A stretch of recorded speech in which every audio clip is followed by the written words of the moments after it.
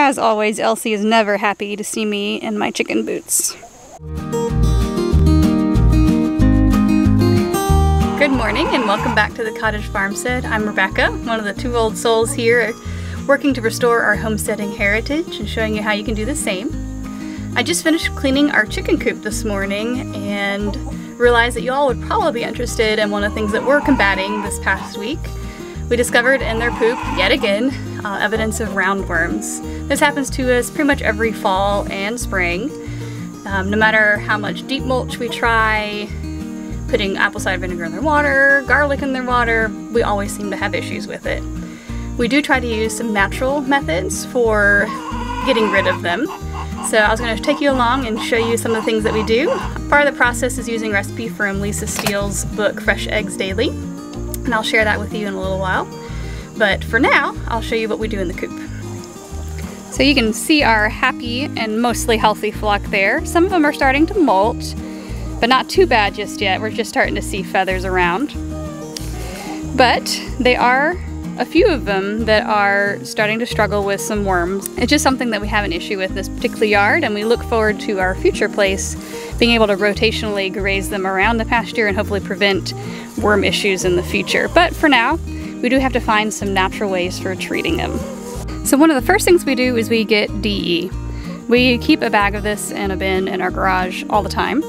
We don't use it in the coop year round because it can be a bit of an irritant to chicken lungs and human lungs, but it is great for getting rid of parasites and mites. So we usually pull it out in the spring and fall and we sprinkle it around where the chickens drop at night so that any poop that does fall that has worms in it, those worms won't survive and they won't continue spreading.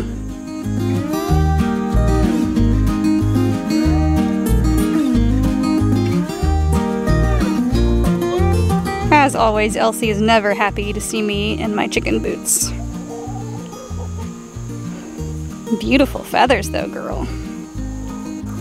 One of the first things that we do when we start noticing worms in their poop is to get as many cucumber, cantaloupe, zucchini, any type of squash seconds that we can because vegetables and fruits that are in the cucurbit family have a coating on their seeds when they're fresh that paralyzes worms and helps them to naturally get rid of their parasite problems.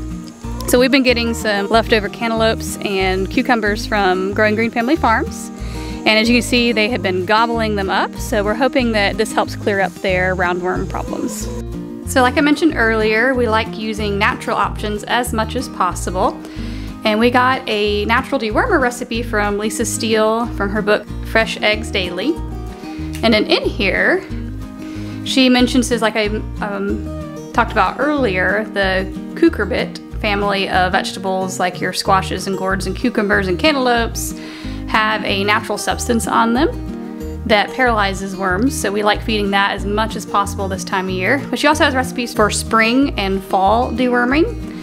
Um, we typically adapt it to based on what we happen to have growing or what herbs we have. We usually do the garlic and yogurt and mix in some different herbs and dandelion greens in ours when we modify it.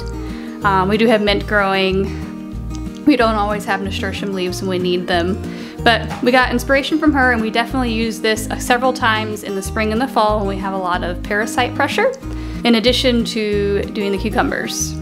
There are times, however, where we notice one or two hens are just really struggling with roundworm. And that's when we break out into the medicine cabinet and we have some wazine that we got probably a couple years ago. We probably should refresh this.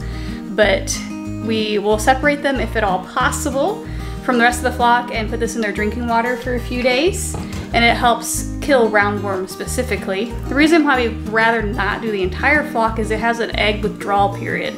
So for about three weeks, you can't eat a single egg, which at this time of year, they're already molting, we're already decreasing in eggs, so every egg is really valuable. So we'd hate having to do that in the fall.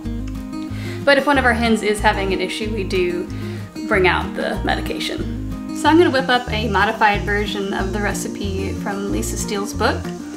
We have a little bit of homemade yogurt left over. We have some minced garlic that we made in a previous video that I'll link above in one of the cards and down below.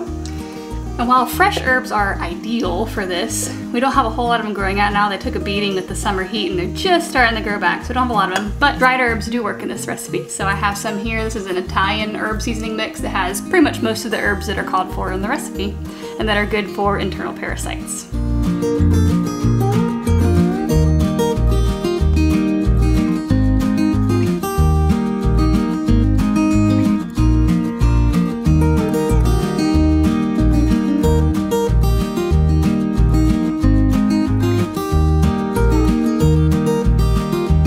As a final touch, I usually put a little bit of chicken scratch on top. Most of our mature hens love yogurt, but some of our younger hens just have never been introduced to it before. So they really do enjoy a little bit of scratch on top to encourage them to start pecking so they can realize that it's delicious to them at least. It smells pretty garlicky and herby to me, but they seem to really like it.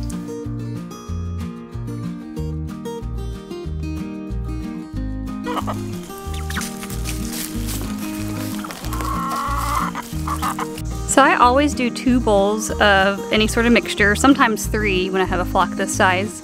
It's because there are dominant hens and ones at the bottom of the pecking order. So I like to make sure that there's some equal opportunity to get a bite for everybody. Um, I might need to make a third batch because some of the young ones are not coming over because the mature hens are a little bit mean. But as you can see, the hens love eating this, which is great. And we'll keep an eye on their chicken squat and see if any worms appear next week. And if so, we'll treat them one more time before we start singling out who might be struggling a little bit more than others to give them some of the medication.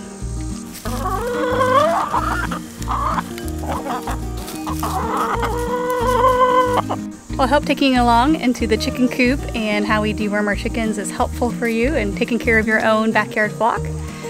It definitely can be a little bit disconcerting the first time you see worms show up in their poop.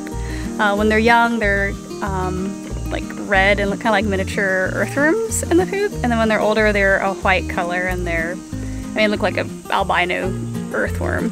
So it's a little disconcerting. I'll link below to some other chicken tips that we have on our blog so that you can help take care of your backyard flock so they can lay you plenty of eggs in the future. Catch you next time.